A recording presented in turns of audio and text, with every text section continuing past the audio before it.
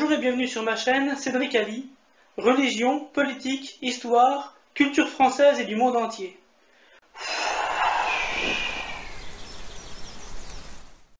Revue de presse de l'UPR, semaine du 18 au 24 juin 2018. À la une cette semaine, la cristallerie Baccarat, officiellement rachetée par un fonds chinois. Dans un communiqué, la manufacture annonce ce jeudi que le fonds chinois FFC a finalisé l'acquisition de 88,8% du capital de l'entreprise pour un montant de 164 millions d'euros. FFC a annoncé investir entre 20 et 30 millions d'euros maintenant et 50 millions d'euros plus tard et a pris l'engagement que le savoir-faire reste en Meurthe-et-Moselle. Source France Bleu, 21 juin. Baccarat a été acquise suite à une OPA et c'est donc un nouveau fleuron français qui passe en des mains étrangères. La France n'a malheureusement plus les armes pour se défendre car l'article 63 du TFUE interdit tout contrôle des flux de capitaux. Quant à la promesse de préserver le savoir-faire en France, le précédent d'Alstom a tristement montré combien une telle promesse avait peu de valeur. France La cote de popularité d'Emmanuel Macron a son plus bas niveau depuis son élection. En un mois, la cote de popularité du chef de l'État a baissé d'un point passant de 41% de satisfait en mai à 40% en juin, selon un sondage IFOP paru dans le JDD. Source Le Monde, 24 juin. Marseille. Des amendes pour les poissonniers qui ne mettent pas les noms des poissons en latin. Sur le vieux port à Marseille, un peu plus qu'ailleurs, les poissonniers sont remontés une réglementation européenne les oblige à mentionner le nom des espèces de poissons en latin. La semaine dernière, ils ont été verbalisés par des agents de la Direction des territoires et de la mer. Source France 3, 20 juin. La Commission européenne continue de pousser jusqu'à l'absurde la surréglementation qui est sa raison d'être. François Asselineau, reçu pour consultation par le directeur de cabinet du président du Sénat. Il s'agissait d'une consultation sur le projet de réforme constitutionnelle voulu par le président Macron. Il s'agit de la première fois que l'UPR est officiellement invité pour consultation par l'une des principales institutions de la République. Source UPR 25 juin. Oiseaux, chauves-souris et saumons en très fort déclin en France. Selon le bilan 2018 de l'Observatoire national de la biodiversité, 180 000 espèces sont en danger, notamment en raison de l'usage de pesticides et de l'artificialisation des sols. Source Le Monde, 18 juin. Voilà le résultat des politiques agricoles hyper-productivistes imposées par l'UE, article 39 du TFUE. La SNCF va basculer 60% de ses applications chez Amazon Web Services. La SNCF a décidé de faire migrer à hauteur de 60% ses applications vers les serveurs du cloud public d'AWS Amazon Web Service à l'horizon 2020. Cette migration concernera notamment une bonne partie des 144 applications considérées comme critiques pour l'exploitation des trains. Source Le Figaro, 20 juin. Qu'une entreprise publique fasse appel massivement au service d'une entreprise étrangère alors que les alternatives nationales existent ne semble gêner aucun des grands médias, pour lesquels le protectionnisme intelligent est un gros mot. Bruno Le Maire, la plupart des entreprises françaises ne pourront pas rester en Iran. Ployant face à la décision de Washington de rétablir les sanctions contre Téhéran, et l'extraterritorialité de la justice américaine, le ministre français de l'économie a fait savoir que la plupart des entreprises hexagonales quitteraient l'Iran. Source RT, 19 juin. L'argument d'une Europe qui ferait le poids face aux États-Unis vole en éclats. Elle étale au contraire son asservissement. Comment pourrait-elle d'ailleurs faire le poids face aux États-Unis quand la construction européenne a précisément été poussée par les États-Unis pour mettre les pays de l'UE à leurs bottes. quand le gouvernement remanie discrètement les lois sur le renseignement? Une commission mixte paritaire doit mettre d'accord le Sénat et l'Assemblée sur la future loi de programmation militaire. L'un des articles, sous couvert de rationalisation, ouvre au renseignement intérieur les données captées par la surveillance extérieure. Source Libération 19 juin. C'est probablement une bonne chose pour la lutte contre le terrorisme. En effet, du temps des renseignements généraux, la confrontation des données intérieures et extérieures permettait une plus grande efficacité pour la défense de la sécurité du territoire. Les RG avaient été cassés par Nicolas Sarkozy et amenés après quelques années à la DGSI intérieure et à la DGSE extérieure, trop étanches l'une par rapport à l'autre. Route à 80 km/h, la Creuse refuse de changer les panneaux. Il n'y a jamais eu de concertation entre l'État et la Creuse au sujet de l'abaissement de la limite de vitesse. En conséquence, le département laisse entièrement l'État prendre à sa charge les frais y afférents. Source Ouest France, 21 juin. France, régression sociale. Ouverture d'une brèche dans le statut de la fonction publique. Dans la nuit de vendredi à samedi, vers 3h20, l'Assemblée nationale a adopté trois amendements visant à ouvrir, sans condition ni quota, le recrutement de contractuels pour, pour pourvoir les postes d'encadrement supérieur dans les trois versants de la fonction publique. Une mesure qui concerne 7000 postes présentant un caractère de détachement fonctionnel dans la territoriale, 350 postes pour l'hospitalière, 2685 postes pour l'État. Tollé chez les défenseurs du statut qui considèrent que, sur la forme comme sur le fond, la ligne rouge est franchie. Source La Gazette des communes, 18 juin.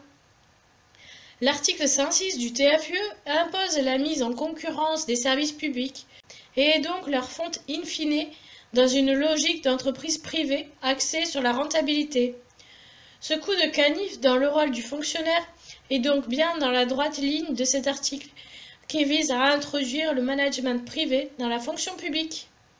Vers la fin de la gratuité des autoroutes pour les pompiers. Alors que la loi de finances 2018 prévoit la gratuité des autoroutes pour les pompiers, le gouvernement fait machine arrière, créant un tollé. Une élue dénonce le lobbying des sociétés autoroutières. Source La Provence, 21 juin. C'est encore le service public, ici, le plus élémentaire, qui trinque et doit céder face aux impératifs de rentabilité des sociétés d'autoroutes. Récupérons nos autoroutes en sortant de l'Union européenne. Aide sociale. Les bénéficiaires des APL vont encore perdre 5 euros. Le gel des APL constitue cette année un manque à gagner de 4,68 euros pour les allocataires, après une baisse de 5 euros par mois à l'automne dernier. Source Orange 18 juin. Rappel, la précédente baisse des APL avait fait gagner à l'État un montant à peu près équivalent à ce que lui avait coûté la réforme de l'ISF, qui avait fait sortir les biens non immobiliers du calcul de l'assiette d'imposition à l'avantage donc des ultra-riches. Macron, Robin des Bois à l'envers, continue donc son œuvre. France, application des GOPÉ. Un bénéficiaire du RSA peut se voir demander du travail bénévole, tranche le Conseil d'État. Un département a le droit de demander aux bénéficiaires du RSA de faire du bénévolat, a considéré le Conseil d'État dans une décision lue vendredi 15 juin. France Info, source France Info, 15 juin. Cela revient finalement à rémunérer un travail au prix du RSA, c'est-à-dire bien souvent en dessous du SMIC. Cela sonne comme un écho au GOPÉ qui stipule qu'il faut garantir la compatibilité des évolutions du salaire minimum avec la création d'emplois et la compétitivité. Autrement dit, la porte ouverte à la baisse du salaire minimum. Retraite. À qui va profiter le pactole de 165 milliards d'euros? Un pactole sur lequel il faudra statuer alors que s'ouvre le chantier de la réforme qui devrait mener à un régime universel. La logique d'un régime universel voudrait que ces dizaines de milliards d'euros soient confisqués et redistribués à tous, aux grandes dames des régimes qui ont constitué cette réserve. Les gestionnaires de ces caisses craignent de se voir prendre leur trésor par certains gros mangeurs comme la SNCF, la RATP, la fonction publique d'État ou encore le régime de base des salariés du privé, CNAV, qui eux ne disposent pas de réserve. Source capitale, 17 juin. Pourquoi donc faut-il uniformiser tous les régimes de retraite? Est-ce un obscur rapport d'experts? Non, c'est encore une fois une autre des recommandations contenues dans les GOPÉ, divulguées de manière publique. Uniformiser progressivement les règles des différents régimes de retraite. Il s'agit là d'une pure idéologie de simplification dont on peut se demander si l'intérêt et les conséquences ont réellement été calculées. Retraite Bruxelles pousse la France à faire 10 milliards d'euros d'économies. Plus de 5 milliards d'euros pourraient être dégagés sur les régimes des fonctionnaires en 2022. Source Challenge 20 juin. Les GOPÉ apparaissent clairement dans cet article de Challenge. Ce que l'article ne dit toutefois pas, c'est que ces recommandations sont en effet obligatoires. La loi Pacte va lever les obstacles aux privatisations des aéroports de Paris, de la Française des Jeux et d'Engie, la loi prévoit aussi un panel d'autres mesures comme la réduction des seuils pour les commissaires aux comptes et la facilitation de l'intéressement pour les salariés. Source Huffington Post, 18 juin. La loi Pacte suit parfaitement les recommandations des COPÉ. Les privatisations du patrimoine industriel de la France sont en marche. La réduction des seuils pour les audits permet de s'attaquer à la profession réglementée des commissaires aux comptes. Les facilités pour l'intéressement des salariés va permettre de transférer une partie du salaire vers de la redistribution de bénéfices. Cette opération ne sera pas sans conséquence pour le financement de la sécurité sociale. France, frasque politico-syndicale. Le sondage polémique que la République en marche a envoyé à ses adhérents. Un sondage portant sur l'islam et l'intérêt de ces élections a été envoyé par LRM à tous ses adhérents. Devant l'indignation soulevée, le parti se défend en disant qu'il n'a fait que relayer ce sondage créé par le think tank Terra Nova. Source Huffington Post, 19 juin. La responsabilité est finalement partagée entre Terra Nova et LRM. La première pour avoir créé ces questions, la seconde pour les avoir diffusées. Ainsi, un think tank dit de gauche et le parti macroniste dit hors clivage vont tous les deux chasser sur les terres de l'extrême droite. L'avant-dernière question est aussi tout à fait inquiétante, car elle trahit les velléités des puissants, derrière ces deux groupes, d'officialiser toujours plus un régime dictatorial plutôt que démocratique. Visuel du questionnaire de la République en marche, anatomie d'un mouvement. Il y a trop d'immigrés en France. On ne se sent pas chez nous comme avant. L'islam est une menace pour l'Occident. La France doit avoir à sa tête un homme fort qui n'a pas à se préoccuper du Parlement ni des élections. Les enfants d'immigrés nés en France sont des Français comme les autres. Le président de l'île métropole accusé de dépenser l'argent public à des fins personnelles.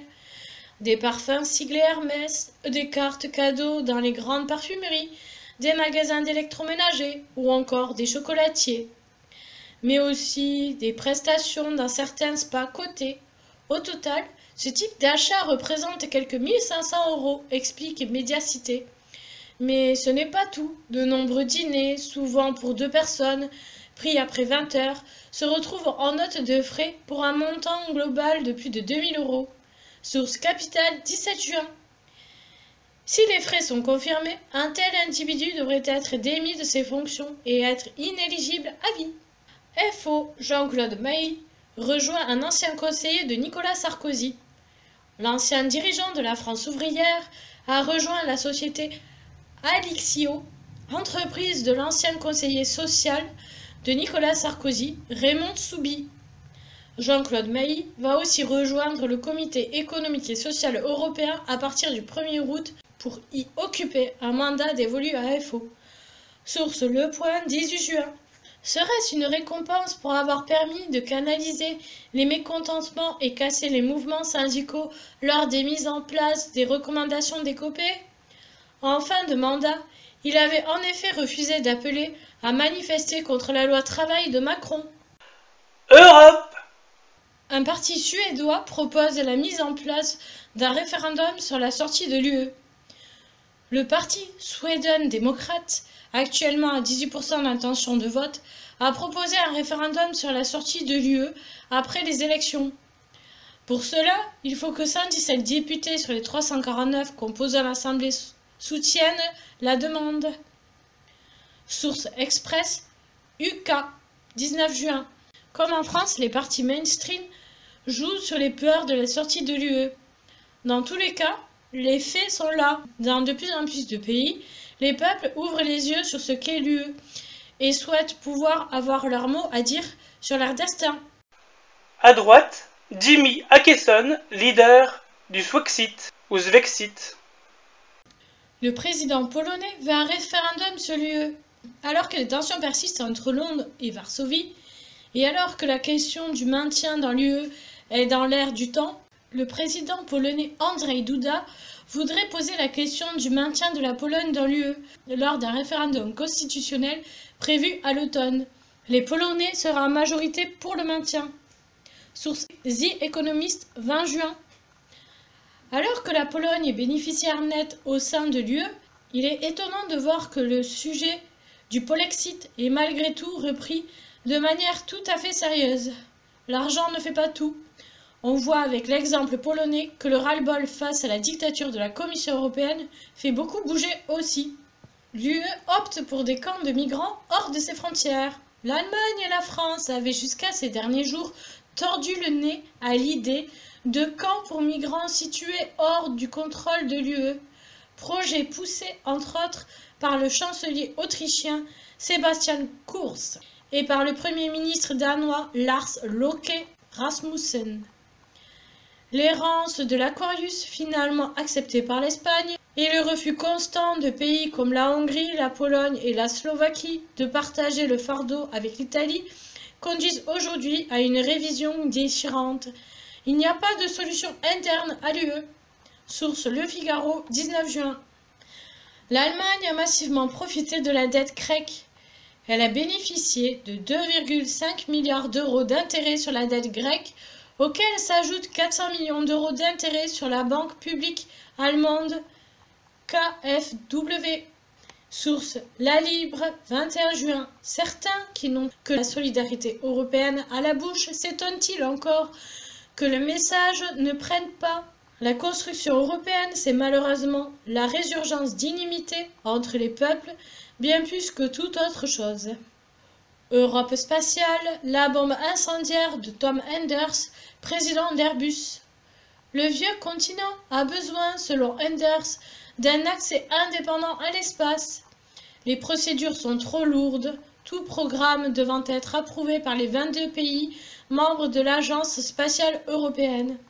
Il recommande vivement à Angela Merkel et Emmanuel Macron d'établir une initiative franco-allemande en vue de définir en coopération avec l'industrie une nouvelle vision spatiale, de nouveaux projets ambitieux et de nouvelles politiques pour l'Europe. Il préconise notamment que l'espace devrait faire partie d'un traité de l'Élysée renouvelé. Le traité d'amitié franco-allemand, dit traité de l'Élysée, est un traité bilatéral entre la France et l'Allemagne. Source La Tribune, 17 juin. N'est-ce pas là un projet utopique de plus, ranger à côté de celui de l'avion de combat européen, qui a du plomb dans l'aile? C'est aussi pour l'Allemagne le moyen de siphonner à la France ce qui lui reste de technologie de pointe dans ce domaine. Rappelons enfin que le traité de l'Élysée, cité dans l'article, était l'exemple même du double jeu allemand, faisant mine de s'aligner avec la France tout en rassurant les Américains que leurs intérêts n'étaient pas menacés. Union européenne, l'euro condamné à disparaître. Vincent Brousseau décrypte l'écho numéro 2. Le déclin de l'euro se dessine. Doit-on craindre une sortie de l'Italie de l'euro? Pourquoi les Allemands devraient-ils sortir de l'euro? Cette monnaie ne convient-elle pas à leur économie? Le déclin de l'euro n'est-il pas en train de se dessiner? Certains laissent entendre que la dette target de l'Italie n'en serait pas une. Pourquoi l'euro est-il comme il est? Source UPR, 20 juin. Angela Merkel rejette définitivement les États-Unis d'Europe d'Emmanuel Macron.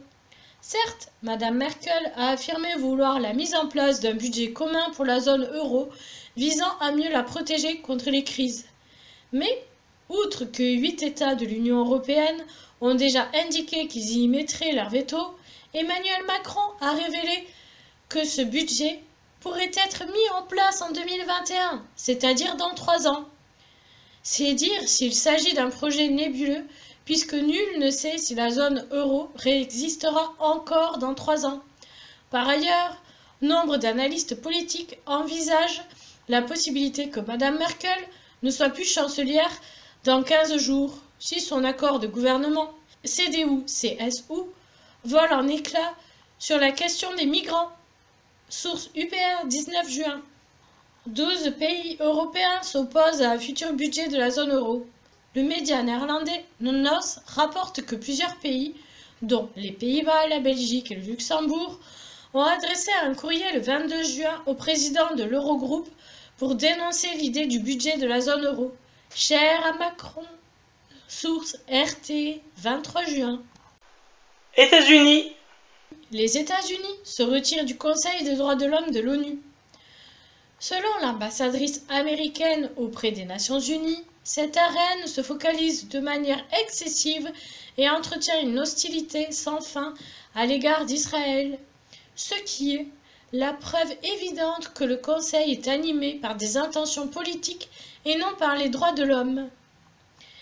Depuis l'arrivée au début de 2017 de Donald Trump à la Maison-Blanche, les États-Unis se sont déjà retirés de l'UNESCO, de l'accord de Paris sur le climat, de l'accord nucléaire avec l'Iran.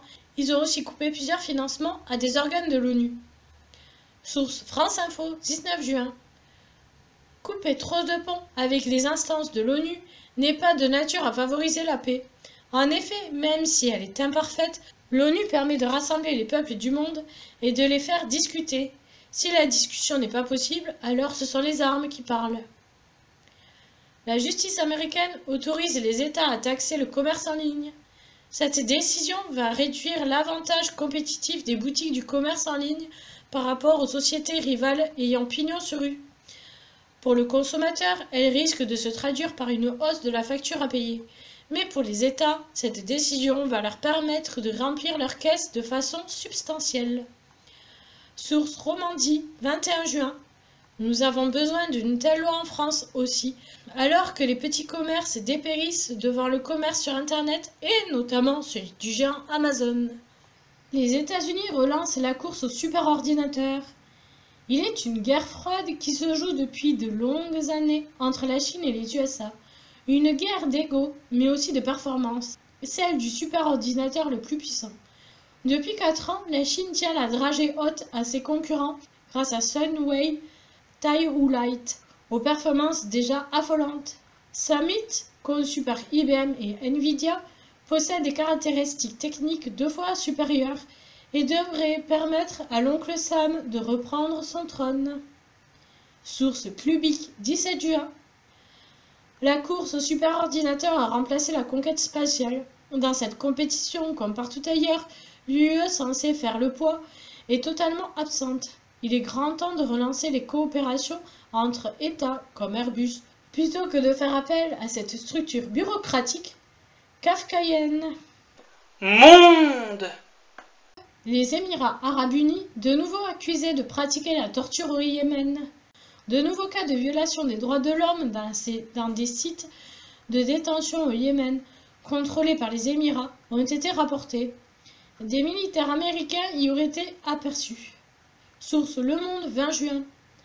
Avec une logique équivalente à celle appliquée envers Bachar el-Assad en Syrie, la communauté internationale ne devrait-elle pas s'émouvoir de ces violations répétées des droits de l'homme et exiger le départ immédiat non seulement du Premier ministre des Émirats, Mohamed Al-Maktoum, mais aussi du prince Salman Al-Souad d'Arabie saoudite, qui participe également à cette sale guerre. La légende en arabe dit C'est ainsi qu'ils transportent les prisonniers de et vers la coalition, entassés en nombre, les yeux bandés et menottés à l'arrière d'un pick-up Land Cruiser, comme s'il s'agissait d'animaux et sous la menace d'une arme à feu. Colombie. Élection du candidat de droite à la présidence du pays. C'est la première fois qu'un candidat de gauche avait accès au second tour des présidentielles. Gustavo Petro, ancien guerriero marxiste, positionné plutôt en centre-gauche avec un discours anticorruption, mais que ses adversaires accusent de chavisme, n'a pas créé la surprise. À l'issue d'un scrutin très suivi, 52% de participation, c'est finalement Ivan Duque qui l'a emporté avec 53,9% des voix. Issu de la droite libérale, ce dauphin d'Alvaro Uribe est plutôt désireux de réviser et durcir le texte des accords passés avec le mouvement des guérillas des FARC. Source L'Humanité, 19 juin. Saurait-il préserver la paix sociale à l'intérieur? Et quelle sera sa politique étrangère envers le Venezuela, dont il a violemment critiqué à de nombreuses reprises le régime chaviste? Et c'est fini pour cette semaine. Et désolé pour les retards que nous avons pu avoir sur les euh, revues de presse des semaines précédentes. Et je vous invite tous à mettre des pouces, à partager cette vidéo et à mettre des commentaires. Merci à tous de nous suivre. Bye Je n'habite pas sous un Tipeee, mais vous pouvez mettre un pouce bleu ou vous abonner. Salut